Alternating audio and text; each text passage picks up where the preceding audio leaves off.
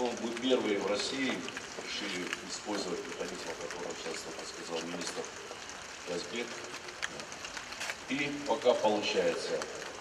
В конце прошлого года мы вручали квартир, ключи от квартир. Сегодня вот 91 семья обретет свое жилье. Приглашайте сюда своих старших, привозите их в сел на субботу, воскресенье. Пусть они, окружены вашей заботой. Поздравляю вас и хочу символически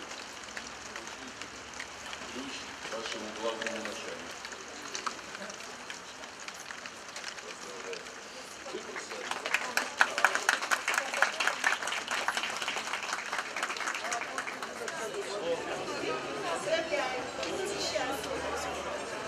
Халина Галина Ивановна.